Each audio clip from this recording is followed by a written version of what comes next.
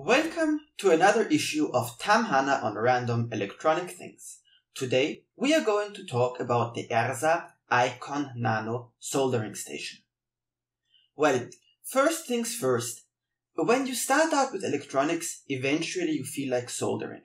And usually you then head to some hardware store and you buy a cheap soldering iron. My practical experience tells me don't do it. In the end, you'll want something better. And in many cases, you will end up with some ERSA kit. And I'm going to show you my Icon Nano now, which I bought some years, I think about one year ago, for like 200 euros. And well, some things I like and some things I don't. Our ERSA Icon Nano essentially consists of two parts. First of all, we're going to look at the mother unit. This is basically this thing here, and it has the cable for the power, which is less than a meter long. And as you see here in the back, it's affixed and it's quite a bit difficult to take out. And in addition to that, here in the front, we've got the connection to the actual soldering gun and the soldering base station, which is included. And here in the back, there's the power switch, which I'm going to show you in cooperation with the screen when we're powering on the unit. And this here in the front is a sticker which is reminding me and any employee who happens to waddle by that you always need to have a wet sponge when soldering.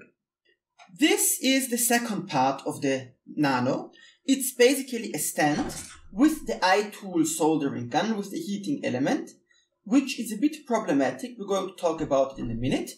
And here you have a stand for up to four of the tips and some dry steel wool for cleaning the tip.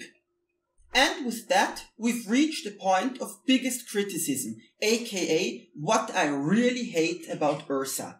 You see here, when mounting on the iTool, you've got a three part solution. You've got the tip, you've got some weird metal part, which fits into an equally weird plastic part. And all of this, then this slides in here, and at the bottom, you screw it down here. And sadly, this becomes a problem, because when you are in action, you want to change the tip, and you go and you bang it like this. Bam, bam, bam. Because this connection is very tight. And in this case, eventually, this little plastic piece will break. Because if you buy the station, you get one of these and one of these. But if you buy an extra tip, the mounting bracket is not included, which it should be. Just for the sake of completeness, here's another shot of the whole assembly. And the thing is, this little part is not available separately, but only in combination with the back part. And this assembly costs between 5 and 10 euros, depending on where you buy it. I've got the part number inside, and I've also got some distributors which sell it. And no, they are not affiliate links. Sadly, this construction tends to work out quite badly in practice, because as you bang it on the back, Eventually this thing will break and it will compress. I know that you are dying to find out more about how to fix the problem, but I need your help. Please, please, reward me for having to stretch all the way over from my chair. Subscribe, like, comment. Thank you. And if this happens to you, the first step is you take a big screwdriver and you push the damaged part onto it and you turn it around a little bit until it looks somewhat smooth.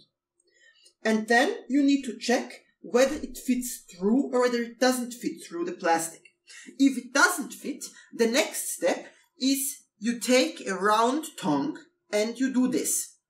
The, the exact way how you work it depends on your situation, but I took a round and a flat tongue and I just turned around and pressed, pressed, pressed until it got smooth enough again.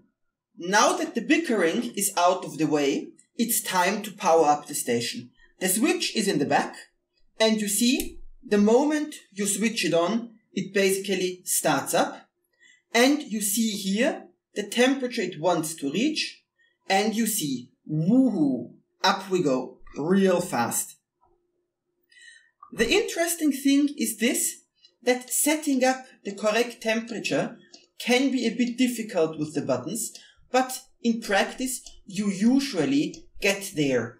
The main nuisance is the power on and off switch in the back, and of course that this display doesn't have a backlight. With that, it's time for one last interesting aspect. ERSA is based in the EU, so they are subject to all kind of security regulations. And this directly affects you in one place. Here, inside of this thing, there's an accelerometer. And if you don't move the iron for a few minutes, it automatically goes into a low temperature mode of about 100 degrees. And it wakes up if you shake it.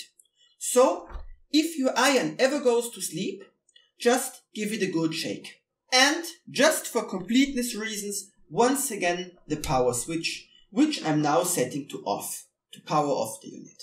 Now let's get to the hard point. Would I buy the Icon Nano again or not? Well, I probably would, even though I'm not particularly happy about the way they gouge me with those stupid parts it's just a question of ERSA being a brand which I know. And I've been using ERSA for years and I know ERSA. Well, if I'd be visiting, for example, my friend Keith in the USA and I'd use his parts station for some time, then probably I would give another brand a chance because I don't like being ripped off. But from an electronics and workmanship point of view, there is no need to complain whatsoever about the Icon Nano and I can recommend it wholeheartedly.